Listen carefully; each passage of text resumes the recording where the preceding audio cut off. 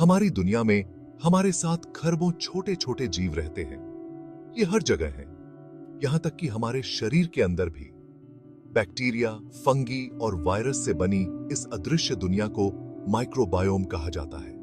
यह हमारे स्वास्थ्य और तंदुरुस्ती में बहुत महत्वपूर्ण भूमिका निभाता है। आइए अपने अंदर इस अद्भुत दुनिया को समझते हैं। माइक्रोबायोम सूक्ष्म जीवों का एक समुदाय है। जो हमारे शरीर के अंदर और बाहर रहता है। इनमें से ज़्यादातर माइक्रोब्स हमारे पेट में पाए जाते हैं, खासकर बड़ी आंत में। हमारा गट माइक्रोबायोम उतना ही अनूठा है जितना हमारा फिंगरप्रिंट्स इसका विकास जन्म से ही शुरू हो जाता है और यह जीवन भर बदलता रहता है। माइक्रोबायोम हमारे स्वास्थ्य में बहुत महत्वपूर्ण भूमिका निभाता है। यह भोजन पचाने और पोषक तत्वों को अवशोषित करने में हमारी मदद करता है। यह हानिकारक बैक्टीरिया से लड़ने के लिए हमारी प्रतिरक्षा प्रणाली को भी प्रशिक्षित करता है। एक संतुलित माइक्रोबायोम संपूर्ण स्वास्थ्य में महत्वपूर्ण योगदान देता है। सेक्शन फोर फ्रेंडली बैक्टीरिया हमारे सूक्ष्म सहयोगी, हमारे सूक्ष्म सहयोगी। ऐसा नहीं है कि सभी बैक्टीरिया खराब होते हैं।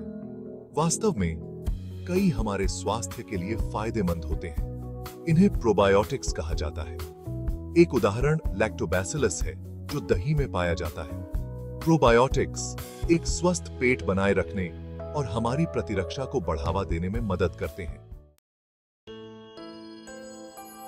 सेक्शन फाइव अपने आंतरिक पारिस्थितिकी तंत्र का पोषण, अपने आंतरिक पारिस्थितिकी तंत्र का पोषण हमारे खान पान और जीवन शैली की आदतें हमारे माइक्रोबायोम के संतुलन को सीधे प्रभावित करती हैं। सही भोजन और स्वस्थ आदतें हमारे आंतरिक पारिस्थितिकी तंत्र को मज़बूत बनाती हैं। फलों सब्जियों और साबुत अनाज से भरपूर फाइबर वाला आहार अच्छे बैक्टीरिया के विकास को बढ़ावा देता है ये खाद्य पदार्थ हमारे शरीर के लिए आवश्यक पोषक तत्व भी प्रदान करते हैं तनाव, नींद की कमी और एंटीबायोटिक्स हमारे गट फ्लोरा के संतुलन को बिगाड़ सकते हैं। इन कारकों को नियंत्रित करना हमारे स्वास्थ्य के लिए महत्वपूर्ण है।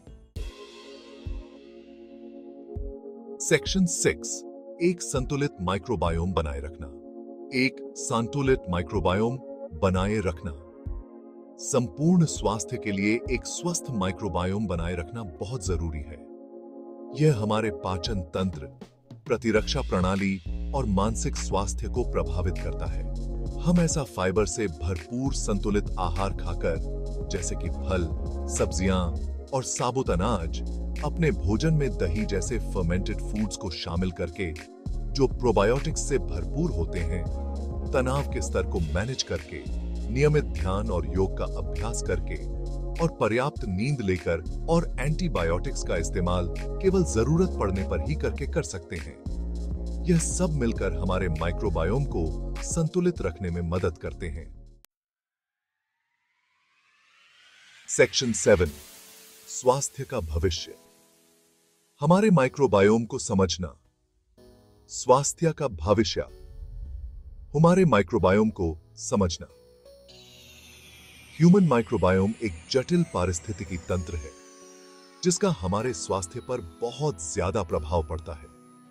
यह ट्रिलियंस ऑफ़ माइक्रो ऑर्गेनिज्म से बना है जिनमें बैक्टीरिया वायरसेस, फंजाई और अन्य माइक्रोब्स शामिल हैं।